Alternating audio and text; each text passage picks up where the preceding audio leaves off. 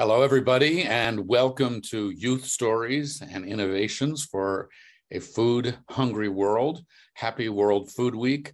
Um, I'm Frank Sesno. It is my absolute pleasure and privilege to be with you today and to lead a conversation that I know you will find fascinating and inspiring because we are going to hear from some remarkable young people who are doing remarkable things with their ideas and their innovations, but also the stories they tell around them. World Food Day marks the founding of the UN Food and Agriculture Organization, and it promotes global action to end hunger and ensure healthy diets for everybody on this planet. This year's theme is Leave No One Behind better production, better nutrition, a better environment, and a better life. And no one could put it better than that. It is a true and awesome, but completely achievable, ambitious goal. This year, we're excited to be part of the World Food Forum. Uh, we're organizing a regional satellite, satellite event, we here being Planet Forward, which is based at the George Washington University and in, involves universities across the United States and around the world. We're doing this in partnership with the FAO Liaison Office for North America. The World Food Forum is a new platform, really, that's gaining momentum and activating youth solutions for food systems and their transformation and Planet Forward, which has collaborated with FAO for several years now, really engages students in how they tell their stories, how they share that information, how they inform, inspire, organize, mobilize others to be aware and to act. Uh, we've in the past been able to go with uh, FAO and, and to FAO in Rome uh, for our students to report what they see here from, uh, from that, that amazing city during the Committee on World Food Security meetings. So this is one of several events taking place from all regions of the world as part of the World Food Forum to mobilize uh, youth action. Uh, we're going to highlight different perspectives here that youth are taking, uh, as I said, through innovation, research, and storytelling. And so I'd like to introduce you to our wonderful panelists, starting with Candace Kendo Clark. She is a PhD student at Tuskegee University, the famous and wonderful Tuskegee. Hi, Kendo. How are you? I'm good, Frank. I'm great. How are you today? I'm great. So you are a sustainable food resource specialist. You focus on sustainable development in the Black Belt and the diaspora. You're the founder of Farm Plug, which is inter, uh, sort of an intergenerational initiative, right, to connect ag and, and, and the culture. So what got you in this? Man, food is really my life. Um, ag is life at this point. Uh, before I really understood what food meant to me, I grew up, you know, on the south side of Chicago and I got to see my grandfather who didn't have more than a fifth grade education and, you know, paying homage to the ancestors. Um, he wound up owning his house and the lot next to it and he had aquaponics and koi fish. So food has always been a part of my life. It's been a part of the way that my family is gathered and showed love. So that's how I became the farm plug. It's really um, a bunch of my experiences as a black woman all over the world. It's awesome. So that's the food and the stories and the inspiration and the innovation. So we're going to come back on that. Our next panelist to join us is Mariève La Lamontagne. She's an agronomist and a PhD student in animal sciences at Laval University in Quebec, the wonderful Canada, and she's co-founder of INSCOT. Uh, hi, Mariève. Welcome to you. Thanks for joining. Hi. What is INSCOT? So INSCOT is an entrepreneurial project who aims to improve the sustainability of our agri-food production system by using the, the potential of edible insects, so black soldier fly larvae, uh, for a better management of the food waste coming from the farm and to create new alter alternative ecological ingredient to feed uh, livestock. So I just want to make sure I heard that right.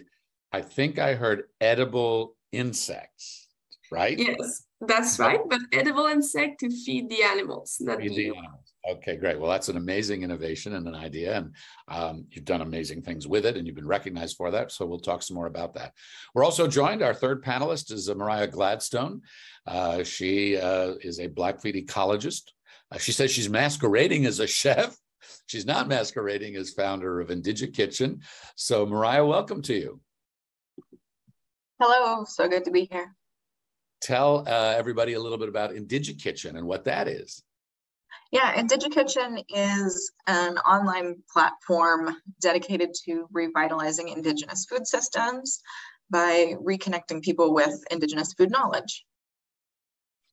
Uh, and you're doing that how? Uh, I make videos, I do cooking classes online. Right now, I'm very lucky to be in Rome at the World Food Forum. So I am also cooking and sharing Indigenous recipes in person um, and am able to showcase Indigenous knowledge with that platform. So part of the storytelling. Okay, you told us you're in Rome. Let me come back to Kendo and to um, Mariève, just to so that everybody knows where are you speaking to us from, coming to us from. Kendo, where are you right now? Oh, I'm coming from the illustrious Tuskegee University, home of the George Washington Carver and Booker T. Washington. And you've been a student there for a few years, so you know it well and you know the region well. Yes, definitely. In the heart of the, we, I'm calling it the heart of the Black Belt, right next door to Montgomery, which is the birthplace of the civil rights movement.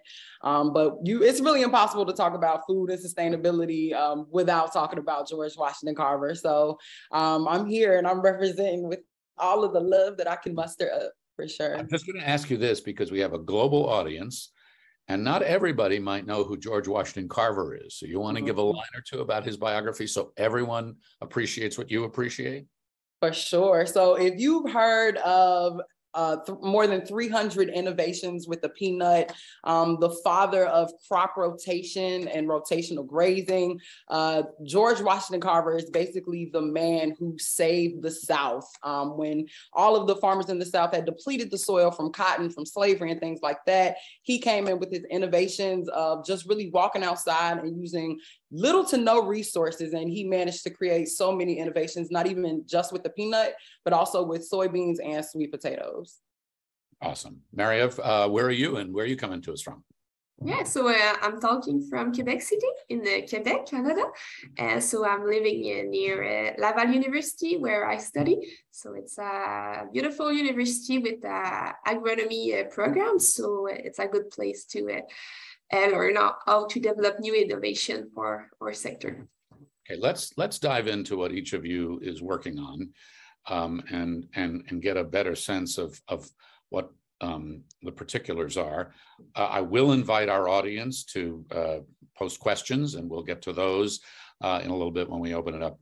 Mariah, let me start with you. Tell us, uh, you, you, gave us a little bit of a of a sense about Indigikitchen, but um, come back on that a little bit more and, and, and, and let's explain what it is, um, what you're trying to accomplish with it. And Indigikitchen was really started because of the epidemic of diet related illnesses in Indian country. And from that came this need not just to restore access to traditional foods, but also to make sure that people knew what to do with them. And so I started creating cooking videos of the things that I knew how to make. I connected with other Native people to compile more recipes and to film them and to get that material out. And then along the way, I have started doing other projects, including recipe development for Native producers to help them showcase their products. Um, I have worked on contract work like uh, creating a toolkit for food service directors to incorporate more native foods into their school lunch program. And sometimes I do catering gigs on, on rare occasions. Who's your who's the intended audience for this? Are you trying to speak with ind- indigenous communities? Are you trying to speak um, broadly to the the, the the, the sort of broad population um, across the country, uh, globally? Who are you trying to um, engage? Yeah, I think my target audience has been Indigenous people, but there is definitely a recognition by folks outside of Indigenous communities that Indigenous knowledge has a lot of tools to help restore sustainable agriculture. And so I think also that people recognizing the plants and animals and history and gifts of the landscape create a within themselves uh, more recognition that they need to take care of it as well. And so that idea of reciprocity can help everyone, uh, not just Indigenous folks. And so through IndigiKitchen, what you're doing is you're sharing indigenous food systems and um, obviously recipes. Is this primarily to um, what to re-inspire healthful eating and to to remind uh, indigenous communities what they've got and how they can use it? I mean, um, what do you want to achieve through this initiative? Yeah, I think that just having access to recipes can be really challenging for a lot of folks in our community, especially if we did not grow up reading cookbooks. Um, it can be challenging to start Googling all of the terminology in recipe books. And so I set out to make some of that information Googleable, but also to recognize that indigenous recipes can use traditional ingredients, but can also be done in the modern kitchen. We are people of the 21st century, and we have always used the tools that we have access to. And we have learned how to recognize ancestral wisdom with our food systems while also making things relevant to ourselves today. Love the connection that you mentioned too between sort of some of these indigenous traditions and regenerative agriculture, sustainable agriculture. And I want to come back to that in a minute. But before I go on to uh, Kendo and Mariève, I have to ask you, since you talked about recipes, and since you're talking about indigenous um, foods and systems, do you have a favorite recipe or a particular ingredient that to you is just the, the key ingredient? Um, I often say that my favorite recipe to make is bison and butternut squash lasagna. And one, it's because I'm a sucker for lasagna. Um, but two, it really merges both my Blackfeet ancestry, which is, of course, a hunter gatherer tradition. We are people of the bison on the plains, and my Cherokee ancestors who were farmers, and that recognition to the squash that they grew. And so it's really easy you just cut up a butternut squash into rectangles um, and use them to replace lasagna noodles in a recipe and then just make a meat sauce. I generally use ground bison and tomato sauce and uh, you can always add fresh greens and peppers and onions and things and really make a nice rich sauce to it. And then you just layer it up and bake it until your squash is soft. Well, if you weren't in Rome now, I'd say the rest of us are coming over for dinner, but we'll do that another time. Kendo, I want to come over to you um, for you to talk a little bit about uh, what you're working on and your focus on Black culture and food. For sure, Frank. So that's where the farm plug came from. So it's it's really just a way of life and a, a movement. Farm plug, right? I just want to make sure everybody knows the name. Farm plug. Okay. Yeah, the farm plug, exactly. So um, for Black Americans, the plug is like it's colloquial for the person who has oh the lights went energy saving. For the person who has uh, the person who has the resources, right? They're the person who whatever you need, um, if you need if you need food, water, um, grocery, anything that you're looking for in your community, the plug is the person who has it, right? And so I had to figure out ways to make agriculture more attractive for my peers, right? Because for us um, as young Black people in the United States, agriculture and food cultivation has very traumatic undertones, right? And so we can't engage that industry without first acknowledging the healing that's necessary. Um, but at the same time, it's also such a beautiful opportunity for not only healing, but entrepreneurship, for community building, all of the things that I know that my community really needs and thrives on and has always thrived on. So, like the basic pillars of Farm Plug are educate, thrive, and connect. And educate um, is inspired from George Washington Carver um, to follow your curiosity, to dream big, and let your imagination lead you. Um, Thrive is inspired by Fannie Lou Hamer, right? The, the freedom farmer of the Mississippi Delta who took three pigs and took three pigs and ended up with a housing development, a housing cooperative to support over 150 people. And then the Connect is inspired by the one and only Booker T. Washington and what he was able to do here at Tuskegee University. It was a school built by slaves, built by free people. Um, and we taught each other to this day the trade the head heart and the hands is is what guides us so i channel that energy in events that i throw I've popped up at block parties. I used to work at summer camps, bringing all of that energy when I bounce around. So um, if I had to make it short, um, Farm Plug is really it's really a way of life. It's a movement for Black-led, uh, land-based uh, healing and career development ultimately. Well, after we have um, dinner with Mariah, we're coming over to you and to to, to, oh, to yeah. Um, I want you to talk a little bit more because I know that part of part of what Farm Plug tries to do is to connect farmers and people of color. And I'm wondering, how do you do that? And um, why do you feel that is that connection is so important at this time? For sure. So I'm I'm doing that in a couple of ways. So one of the most exciting ways is I'm actually about to come out with a coloring book and journal. Um, and the tagline is I went to grad school, so you don't have to. Uh, but it's like an A to Z book that explains food and environmental justice um, using very, very basic principles um, so that people can get a, a, hold on this conversation and all of this discourse going back and forth.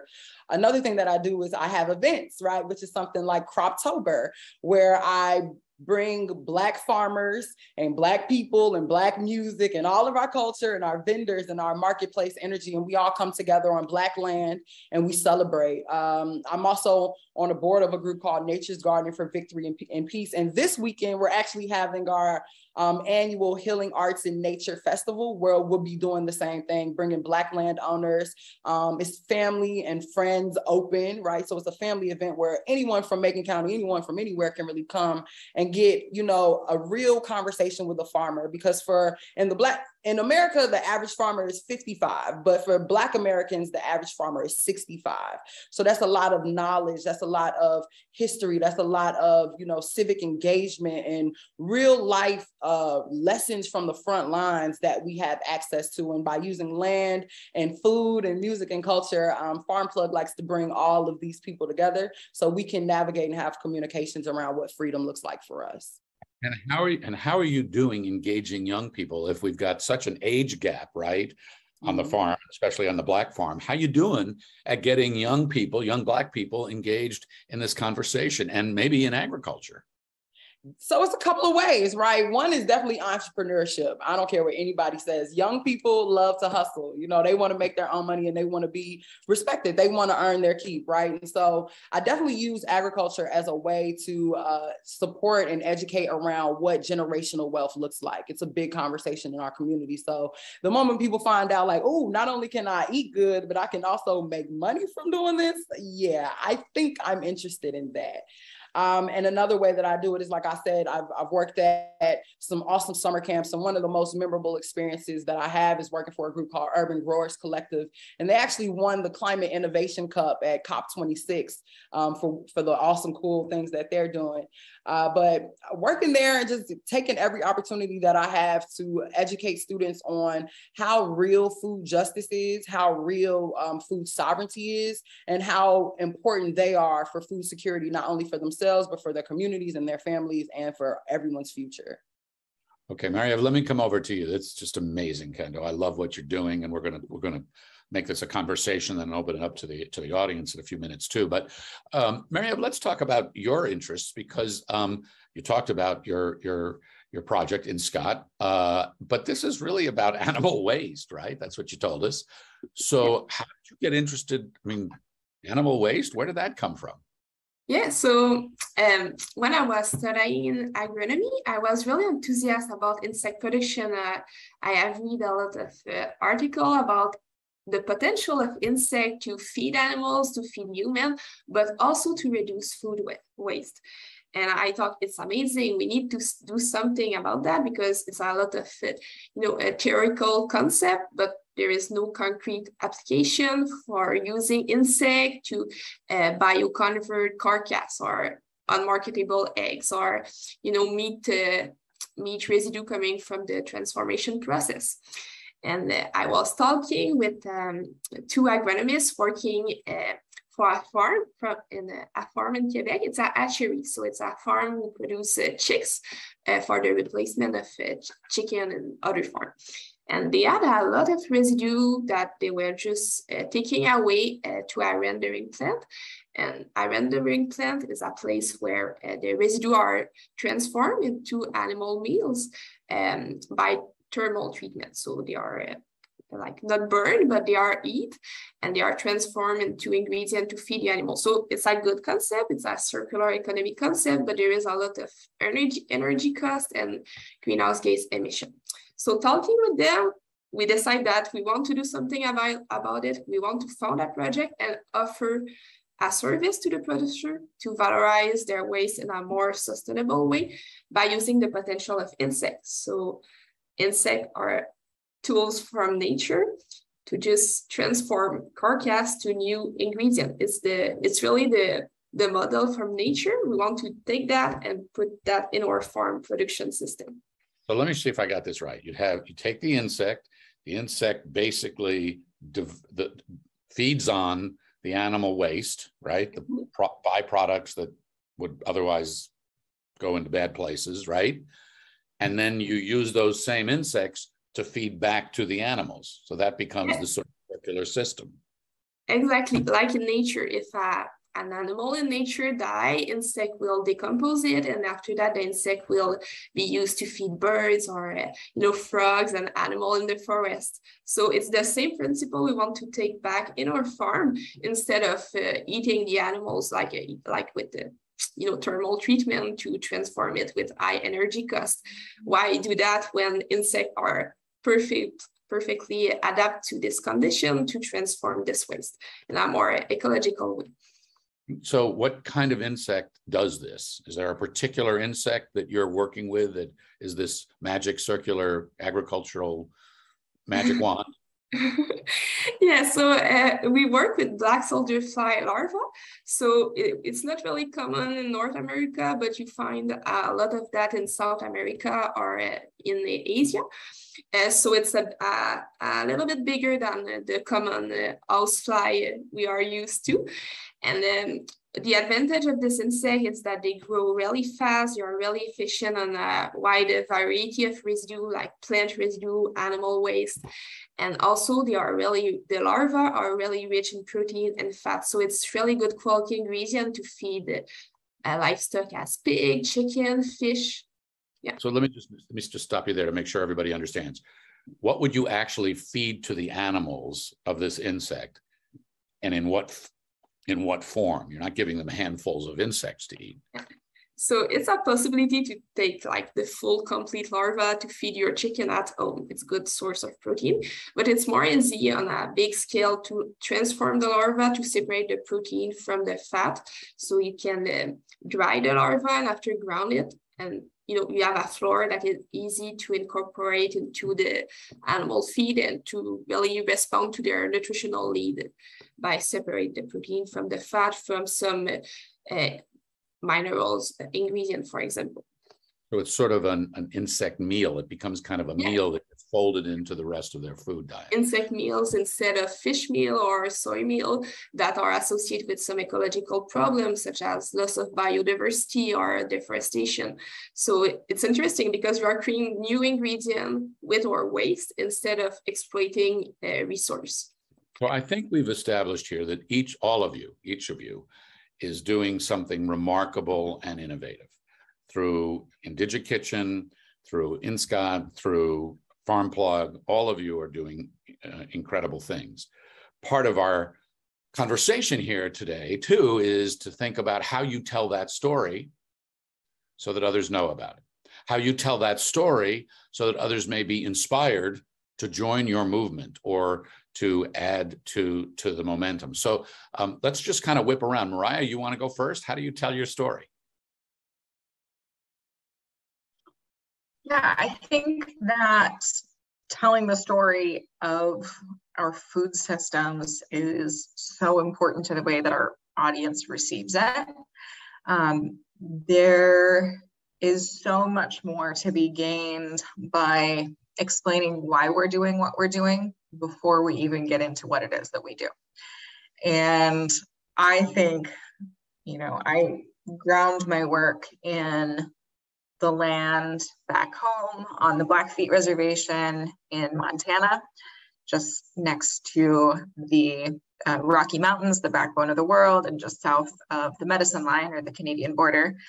And I think about what led me into this work, which is, of course, being back home from summer break and wanting a snack and not having a car and being 40 miles from the nearest grocery store and really understanding what it means to live in a place without access to grocery stores. And while that's defined as a food desert, that doesn't really define our actual proximity to food because there was plenty of food outside. And when I started understanding a bit more about the native plants that my people have eaten, how to cook them, how to use them, and also what to do with the pile of moose meat in our chest freezer, I really started to, one, have a great time cooking, um, but two, want to share that information as well with folks that were in my community or folks in similar situations that uh, had been told that we had very little access to food, um, but in a place where my ancestors had been feeding themselves delicious and nutritious food for thousands of years. So that's part of so my story. Tell that tell that story by explaining why and then what, and and um, how are your how how how does your audience respond? I mean, I think food is a great vehicle through which to talk about a lot of other issues. Um, you know, we can talk about socioeconomic conditions that have imposed supermarket redlining in our communities. We can talk about food apartheid and the damage that actual policy decisions have made and the reasons why our access has been disrupted. We can talk about very intentional work by colonial governments to destroy indigenous people's food systems to take away our ability to feed ourselves so that we would be dependent on government food systems subsidized rations and things of that sort. But we can do it while eating delicious food and figuring out remedies for all of these things as well. Kendall, how do you tell your story I do it in two two ways, Frank. I, first, I show up, and when I say I show up, I show up as myself, right? Green hair, you know, big earrings, my copper earrings, lip gloss popping. I show up as myself fully, um, with all of my experiences. Um, like I said, being a Black woman, agriculture has taken me all over the world. So I've been able to learn sustainable beekeeping in Jamaica, to eat Peking duck in Beijing, all because um, I'm connected to the land. And so um, when I show up and I tell people about, um, especially young people, right, in this globally connected world, and I tell them like, yeah, um, tomatoes and corn and and hemp and industrial cannabis, all these things have taken me all over the world, y'all. And then they're like, well, I want to go, I want to travel. And so they're asking, they get to asking me questions but the second way I do it, Frank, is by flipping the script. I ask them questions, right? Because I think we're under the, the impression, or maybe not this group of people here, uh, but a lot of people think that the youth don't know what's going on or that they're just floating around waiting for their turn to take on all these responsibilities. And I don't believe that at all, right? Especially being from a place like Chicago, um, where we had people like, you know, Mark Clark and Fred Hampton, who was a phenomenal Black Panther, spoke a lot about food insecurity and food justice on the west side of Chicago and was only, what, 22 or 23 when he passed that light is gonna keep taking me out. Um, but those are the two ways that I do it, Frank. I, I, ask questions and I show up fully as myself because ultimately it's about engagement, right? And, and I have this game that I play um, with young people everywhere where I ask, like, well, what do you want to be where, when you grow up? And I bet you that I can connect it back to agriculture. I bet you I can connect it back to climate change. I bet you, and that's what I call it myself. Like, I bet you, I bet you. And um, I just keep um, asking them questions that helps them realize how intertwined their life is with food justice and food policy. So when you're doing this, um, do you have an objective? Right, you're you're you're clearly engaging them, but do you want to get them to change their behaviors, to become farmers, to join your movement? What's what's the what's what's your desired outcome for your story? ultimately, I think I want everybody to be a plug. I want us all to be the ultimate plug. I want us to look at each other in our community as the natural resource. Um, so when we talk about natural resources, a lot of times we think about land and mines and and coal and, and corn and all these things, but I think people are the natural, the most natural resource that we have, right? We communicate with each other. Um, we're a communal species. We need each other, especially um, Black communities and Black culture. We thrive on interconnectedness. So ultimately, I want to make agriculture sexy again, of course, and I want to connect ag and the culture, but I want to do it in a way that allows people to. I'm a big pleasure activist by Adrienne Maree Brown. If you all are, are familiar, it's a book. Definitely recommend it. Um, but I'm a strong believer that when people feel good and they're doing things that makes them happy, it's easier for them to imagine a world where everyone can do things that feels good and makes them happy without taking away or limiting the freedoms of everyone else. So ultimately frank my objective is to inspire. My objective is to connect. Is, is to educate thrive and connect. I want people to learn about everything, all of the opportunities that are around them from the soles of their feet to the air that they breathe above their heads. I want them to know that survival is just the bare minimum, right? We're going to survive anyway, because that's what we've always done as not only humans, but as Black people specifically. But our generation and the age of technology, we don't have to settle for survival. We can thrive and we can do that not only by educating ourselves, but also connecting and being intentional with the connections that we make to each other and to our elders who, again, have all of this knowledge and have really done this work already and are really just waiting for us and our energy to impart that wisdom upon us. Well, I'm thinking if anybody can inspire in the mission that you've laid out, you can do it because you're doing it here. But um, uh, Mariève, your story is a little bit different because you're you're doing the research on this project. You aren't. It's not a business quite yet, um, and it's insects about animal waste. So it may not be the story that most people want to tell before they sit down to dinner. So how do you tell this story, and and how do you make this something uh, that people care about? Yeah, so it's it's kind of a challenge with auto technology because people associate insect with something disgusting or uh, you know uh, scary, and um, especially Westerners uh, are reluctant to eat insect directly. So when we talk about the human eating insect, because there is it's full of flavor and texture and the nutrients. And I really enjoy eating insect for my part, but I think we have, you know, some limitation because of, you know, cultural or emotional experience. And what I see is that young people are really more open mind about the edible insect production and eating insect. And uh, during my study, I've done a lot of uh, presentation in school with uh, young children, but also some teenagers with um, because we have a chair in the production and the transformation of edible insect at the university, so we can talk uh, to child uh, in school. And yeah, uh, the, the young people are ready to try it, to try insect. They want to change their way to, of eating, to uh, do a difference for the environment. So I, I really talk, like to talk with them. And with the older people, I think you really have to uh, present them the option to feed animal with insect. So the if they don't want to change their food habit and it's okay because it's okay to enjoy your food and have good experience. They can think about the way their food is produced. So what are what is the feed their animals they are eating are receiving? Like you can eat a chicken feed with soy or you can eat a chicken feed with insect coming from waste.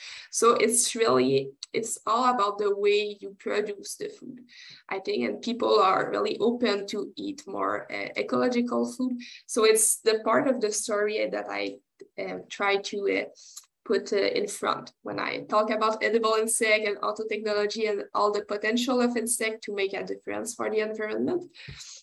And yeah, about animal waste, I think a lot of people just don't know about like what happened with the carcass of dead animals in farm, what happened with the extra manure, what happened with the residue from the transformation. People just sometimes think it's disappear, but no, like there is some uh, ecological cost with the treatment of this carcass and all this waste. And it should not be considered as waste but it should be considered as resource because they are still rich in nutrients. They still have a lot of potential and it should continue to be used to produce food. So yeah i try to just inform and i think it's a complicated story because you're asking people to understand a food system that they don't understand mostly. Yeah but they it's go- important. They buy a piece of meat. If they're if they eat meat, it's wrapped in plastic. They take it home. They don't see the animal. They don't see the process.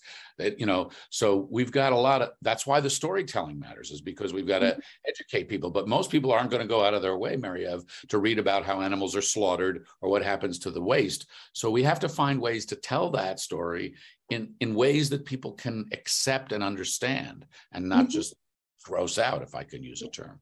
I I think do- when you understand a system, you want to make a difference. You want to protect it. Like uh, Maria said, like if you know where your food comes from, from the landscape, you want to take care of the landscape. I think it's the same with the food food production system. You need a good understanding to want to make an action and change in your habit. Sure. Can I ask, do you eat insects yourself? Yeah, I, I produce insect in my apartment in Quebec City, and uh, I really enjoy eating insect. But at the start, at the start of my study at, at university, I was really, um, really Mariah, are, with are. Mariah, are insects in any of your cooking uh, cookbooks and recipes? I don't have any insects in any of my recipes, but I do have some frozen cicadas in the freezer at home. Um, because after George Washington burned the Haudenosaunee villages and um, eliminated all of their food stores, it was a year that the cicadas emerged. And so they were how the people were able to feed themselves after um, George Washington ordered General Sullivan to march on the people. So cicadas have a very special place in Haudenosaunee food culture um, and a recognition that the land will take care of us. Kendo, any insects in your diet? Um, that'll be a no for me, Frank. Um, not high on the list. Uh, we'll, Um, we'll let you work together. We'll get there. All right. I want to remind our audience that if you have questions for uh, any of our wonderful guests here or panelists, use the Q and A function and put your question in, and I'll I'll pass that along. And while we're while we're waiting for that, I want to throw a question out to the three of you and encourage a, a conversation amongst you. And feel free to pose a question to one another or however you want to do this. But it's it's it's sort of going global on this issue a little bit. You know, we talked at the outset of this thing about how the the um, the, the the objective and the focus of of World Food Day and and and what FAO is doing is trying to focus this year's theme on leave no one behind, better production, nutrition, and better environment for a better life. All right, and how central food is to that. And yet, because of political, humanitarian, and any number of other um, um, realities that we confront, we have a billion people, or nearly a billion people, who are confronting food insecurity in this world. And we have food deserts in this world, and we have people who don't have access to the kinds of healthy and, and, and affordable and accessible food that they should have. I just want to open it up to the three of you for your thoughts on this and, and, and whether and how you feel you and youth, because our focus here is on what young people are doing, can change this and, and, and how. Um, you're each doing something very important and you're doing you're doing something um, in your own sphere. You're also reaching out. So maybe mariah you want to go first? You're in rome now so you might have the most kind of global perspective on this right now because of where you are. Yeah, I mean, I think that there is a tremendous interest by youth to participate in agricultural systems. Um, I am really lucky that I've been able to work with Indigenous youth uh, through the Intertribal Agricultural Council and the um, phenomenal organizations or summits that they have around the United States. Um, and there is a lot of interest by young people, not just in becoming farmers and ranchers and food producers, but also recognizing that food systems are multifaceted and require chefs, they require lawyers that work in these systems of food knowledge. I have been on Capitol Hill in Washington, D.C., and lobbied senators and congressmen and was in the White House lobbying for the last farm bill.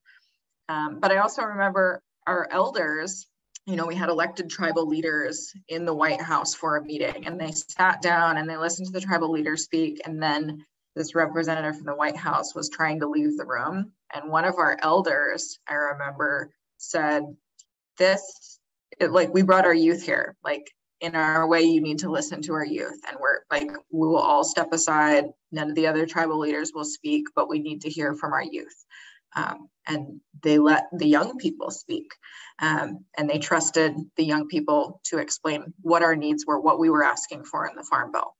Um, and I think that that is really the way for some of these global leaders to um, essentially walk the talk and prove that uh, the young people are the leaders of the future and they can do that by by letting folks lead today other thoughts from kendo or, or Mariette? I think uh, young people uh, will have to learn how to be more resilient with the climate change because when when we will get older, I think all the you know the climatic condition or the resource we have access for agriculture will be more limited. So we will have to be adapt to this situation, and I think the work is really start now. We can start the change for the moment, so we will be ready when that happens. It's already happening, but you know it will just continue the the climate change. So yeah, I think to be more resilient, we need to connect with our agriculture to know where our food come from, how to produce food, how to diversify our production system also, so we can be auto-sufficient. We can produce all the food we need to respond to our nutritional needs. And yet it's important to start learn at a young age how to produce food, how to be resilient, and how we can make a difference so we will be ready Kendo, anything you want to throw in? Yeah, man. I I consider myself an, an Afrofuturist of, of sorts, right? So I am really big on looking to the past, you know, practicing the principle of Sankofa, looking to the past in order to figure out um, what works in order and in order to move forward. And I think what the youth really need is support from us, right? Because they are from one another. Is that what you're saying? I no, not I mean, of course, from one another, but I, I think from us, right? As a I'm a millennial, right? So Generation Z needs support from me as a millennial to be able to, you know what I'm saying, carve out these spaces for their wild ideas to be, you know, to be heard, you know, and to be uplifted and amplified. I think that you know, to be born, you know, and know how to work a cell phone, right? To to be born and, you know I'm saying, have a computer in the palm of your hand and know what that is and, and to be in the metaverse and know how to matriculate in it around three, four, and five years old. I mean, we have young people that know how to code. You know, we're talking about building augmented realities where reality is layered on top of digital. And so I think we have to, the child I think really the challenge is for us as the grown-ups of the world, right? To get um, the limitations and experiences that we have experienced and you know the boundaries imposed on us by adulting in this age or whatever. I think we need to move out of the way. And i think we need to inspire again inspire young people to dream bigger uh, because in a world where um, like you said, Frank, it's over 1 billion people are hungry, but we still blasting off into space. You know, they're selling tickets on Virgin Galactic for $250,000. So if you can afford it, you can touch the moon. And, um, you know, and I think it's also very important that we're intentional about being honest about capitalism, um, being honest about hyper consumerism and being honor, honest about um, anti-blackness and the way that these discriminatory policies really trickle down and impact us all over the world. And I think until we're honest about these things, that we're doing a disservice to young people that are coming up and facing very real challenges from you know from these discriminations that have shaped the reality that we're all forced to deal with today um, I have several. I mean, I think you all make incredibly good points, and there there is a, and we see this through the Planet Forward project. There is a capacity now too that young people have to amplify their voices that no other generation has ever had. No other generation has been able to connect like this, this quick, has been able to connect globally like this, right? So um, the, the, the, the, the potential, the power is there. How it gets used and how it gets translated and how it gets uh, implemented is the big question So, Okay, well, speaking of questions, we got lots of them from the audience. So, oh, did you want to say something, Kendall? I see your hand up. Yeah, it was just making me think about um Zenon, Girl of the 21st Century. I know um, some of us might remember that, but like growing up seeing like Raven on TV, wear little braided pigtails in a spaceship on outer space with her friend, like that was super cool. And and to think about things like the International Space Station, like this is real. The things that we're seeing on TV are so real. So you know, we don't like media sometimes, but hey, it has the potential to really like to catalyze imagination, and I think that's something that we should not shy away from. I totally, totally agree. Okay, great questions. I got one for you, Kendo, from from Bon. When and where can we buy your book? Oh, that's called pressure, and he applied it. Um, it is not out yet, but um, I am on the internet everywhere as Farm Plug. So if you type in Farm Plug or Kendo the Farm Plug, it'll be me popping up, and click that. And as soon as it drops, uh, you all will be the first to know. So thank you for okay, that. Well, so while we're at it, uh, Mariah, where can people buy your book? I have no book, but people can get plenty of recipes for free online at IndigiKitchen. Um, and then I'm planning on working on a children's cookbook when I go into winter hibernation mode. It's still okay, still so hunting season. Go to Invicta Kitchen for your recipes, and they can yes. download. They can see and download. Okay, all right. Let's go to some other questions here. Some some some good ones. Um, uh, and I think this is a this is a very interesting one, also from Bon. Actually, question for any of our of the panelists: How can we encourage more connection to our food systems within urban communities? And Kendo, I know you've talked about being a a, a kid from from Chicago, so you know urban communities. Uh, you want to go first on this one? Yeah. So I mean, it's kind of interesting, right? Because you know, I grew up on the south side, but the east side to be specific. So I think that Chicago was one of the more greener cities. Um, we have a lot of uh, parks that are sponsored by the city through Chicago Park District, and they do a lot to get kids outside. So, but that's something that I would definitely say is to look at your community and figure out some ways that you can keep your community green because um, we know about uh, heat islands and things like that. People like Malcolm X, since you know the 70s and the 60s, been talking about um, you know the conditions in the quote unquote hood and things like that. So um, I think there's plenty to advocate and move around when it comes to like policy and getting um, more green spaces in our communities and gaining more access to those communities. But I think that, you know, my my my advisor has this quote where he says everyone everyone's first occupation when they're born is an ecologist. So everyone is running around. When you're figuring out how to walk you're crawling you're touching things you're tasting you're engaging your senses right? And i think that even in the city, uh, it's an it's always an opportunity to engage your senses, right? And if you get opportunities to get out of the city or to find a quiet little peaceful place in the city to engage your senses there, right? And then imagine, feel the difference in how you feel. You know, practice that meditation and figure out what it really feels like. What is the difference in the air quality that you're breathing closer to the train versus in your in your room at the dinner table or something like that? So I would say definitely look for sensory experiences um, I'm always a proponent for going out to eat and trying different foods because culture is the best way to travel if you can't afford it like me. Um, those taste buds can take you anywhere that you want to go. And anyone who's serving you good food from their heart definitely wants you to know about their culture too. So you'd be surprised at the type of relationships and the type of experiences you can get um, just from asking questions of, of your waiter or of your restaurant owner and things like that, especially in urban places. Let me turn to, to Mariah and Maria. Have anything you'd add to, to this question about how to get people in urban communities more connected to the food systems? I need, I, I think, you know, everyone need food. so uh, I think everyone can have this, co- this connection with agriculture and food production systems. So we need to create opportunity for people to try agriculture at home or at school uh, with uh, some community garden or with some school project that uh, can initiate kid with the agriculture so they can create this connection, know where their food uh, is coming from. And yeah, I think yeah, we need to create new opportunity like that. I'd say wherever you are, um, wherever you go, find a plant app for your phone.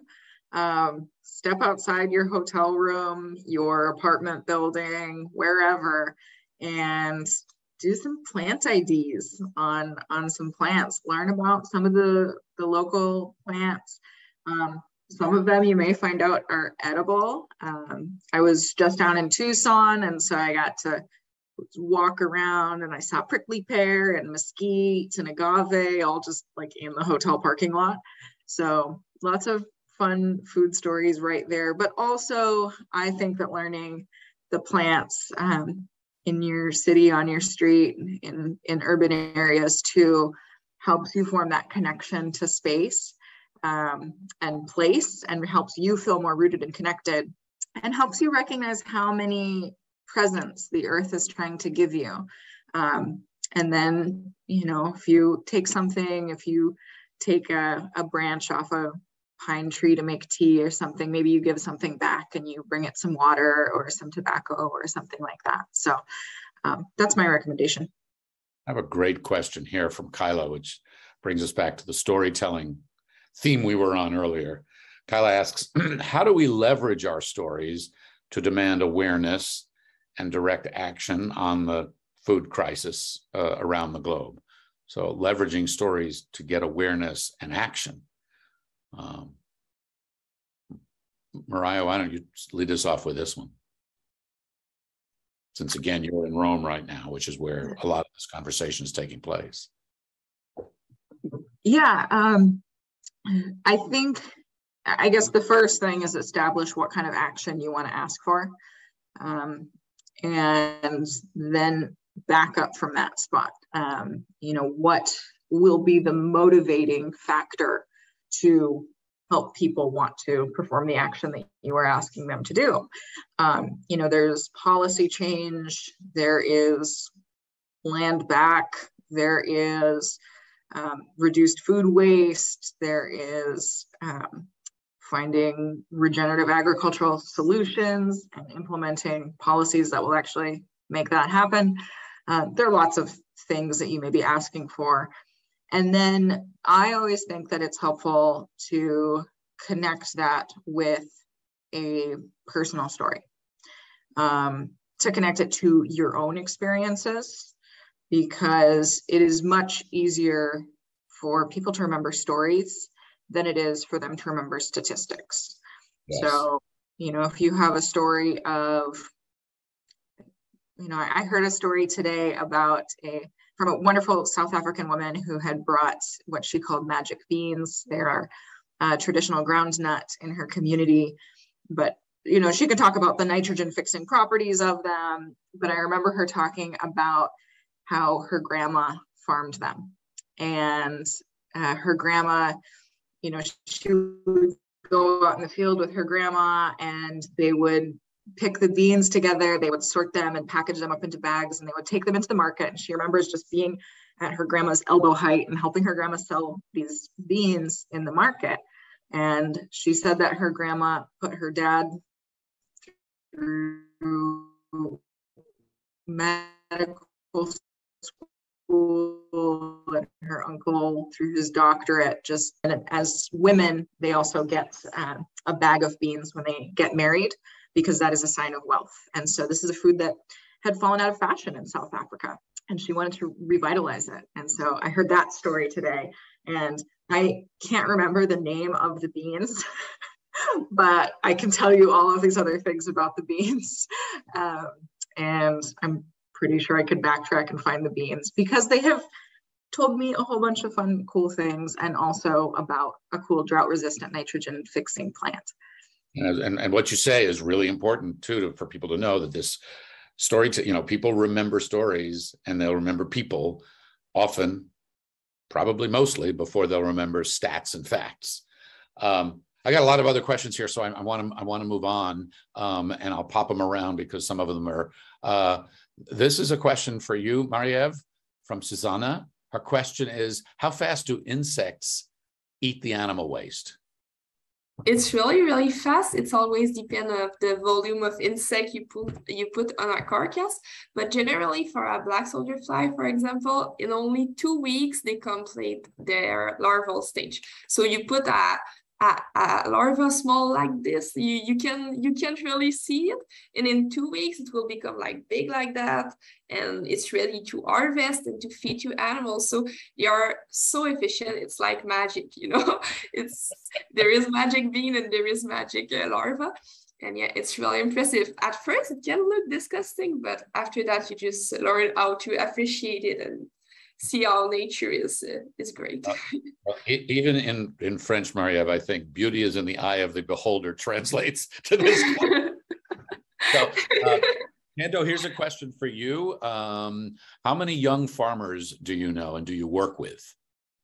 Oh, just give me a platform, okay? No, I it's so many I can't even count, but um there are some key key groups that come to my mind that have some phenomenal fun. When I say like creme de la creme, I'm trying to practice my friends.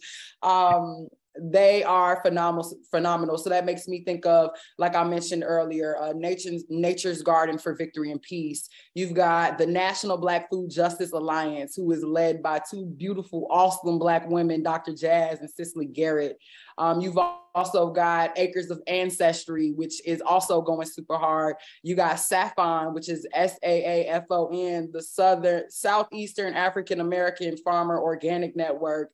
You've got in Chicago, um, in uh, Chicago, you got the um, the Chicago Food Policy Action Council and Advocates for Urban Agriculture, which is filled. When I say I, I, go hard for my city, I am not gonna lie. I think a lot of cities are doing a lot of things to go green, but I would argue that Chicago and the United States is one of the most forward thinking, one of the most green, uh, energy friendly places, and they are doing some amazing things. And especially for it to be Black led and have you know, just the places of leadership that Black youth are in is amazing. Then you got uh, up in Detroit, the Detroit Food Security Network, they going crazy. Um, if you connect to any 1890 university or any HBCU, any historic Black college or university, we are filled with young Black, not only farmers, but aspiring farmers, people who understand the value and the dignity in earthwork and earth cultivation and working with your hands. And we are all over the place, but that is just a few um, that I would name. And even if you follow me on Instagram just scroll, through my followers, you'll see a lot of people um, that I work with. We actually just this past weekend just had the Black Urban Growers Summit in Atlanta, and um, you know it's like places you wouldn't imagine. Like what are what are you know Black people in Boston? And I'm not even gonna lie, for a long time it was hard for me to imagine Black people in Boston, but they are there and they do farm and they go really hard in in in, in their uh, respective areas so you know being in these spaces once you meet one of us we'll all just start coming out the woodworks i promise so look at any of those uh, people or groups or organizations i just mentioned and i guarantee you will find yourself down the rabbit hole of not only beautiful black people, but beautiful black land owners, uh, stewards, and cultivators for sure. Love it, love it, love it. All right, we don't have much time, just a couple of minutes. I want to fold these last two questions together and then get each of you to answer as quickly as you can, maybe no more than a minute each, because we want to let everybody get on with their with their lives. And we've had a very, uh, very fulsome discussion here this hour. So this question is from Noor. What's the biggest change that you think must happen for us to improve the agriculture, agriculture sector, especially with farmers? And I'm going to pair that with this question from Maria. What's your message to skeptics of those who don't think that these are urgent, important issues that need to be resolved and that you're addressing? So it's, you know, what do you say to the skeptics? And you can do that in a breath or two. And then what do you think is the biggest change that, that needs to happen? And, and Mariève, why don't you go first? Yeah, I think there is a, a real emergency with climate change, and we should be in the emergency to to involve ourselves in our agriculture and to find new solution. And I think we have to be ambitious about the solution we propose. At, at the point we are, nothing is impossible. We just have to put the effort, put the energy, uh, take the idea from young people and work to apply it. That.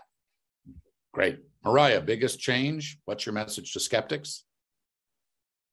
Oh, my message to skeptics or the thing I want to change. Uh, um, I want to stop using the term conventional agriculture and start saying destructive agriculture. Instead of making regenerative sound like that's that's the thing, let's just um, let's call out the new system that's not working for us. Um, because regenerative agriculture has been practiced on the land for much, much longer. Um, and we can do it with new technologies and we can recognize how to bring that um, those thoughts into the 21st century. Um, and as was mentioned, it's very doable. Um, but we need to change the language in which we're talking about it so that people realize the urgency at which this needs to be approached. Great. Kendo, bring us home. Well, my message to skeptics would be don't believe me, just watch. Um, you don't have to believe it. Uh, again, we say this all the time. Science is not something you can believe in. It's fact. This is what we're seeing, is what we're experiencing. And we don't need people to believe what we're going through for us to know that it's that it is what we are experiencing. Um, and with that, uh, that is the biggest change that we need in agriculture. We need more diverse faces, more diverse voices, voices at the forefront. We need big agriculture and really all nations to in, embody an element of restorative justice. Um, to be honest about, you know, the role of discrimination all over the world and how it impacts the decisions that we make every single day, especially in the face of climate change. So, you know, I would say the biggest change in ag is we, we need more farm plugs, Frank. Look, the lights went out. I'm done. That was it. We need more farm plugs, right? I think we need more of all of you. So I want to thank you on behalf of of FAO North America and Planet Forward, uh, and all of us really for for this incredible and inspiring conversation. You're innovators, you're storytellers, and you're bold, all of you. And it's and it's and it's what we need. Uh, and it's it really helps kind of reinforce this year's theme, right? Leave no one behind. Better production, better nutrition, better environment, a better life. And um, on behalf of uh, all of us, as I say, at, at FAO and Planet Forward, uh, thank you, thank you very much. We look forward to working uh, with FAO to share youth stories uh, to move the planet forward. So check us out at planetforward.org. Thank you all very much. Good luck to you.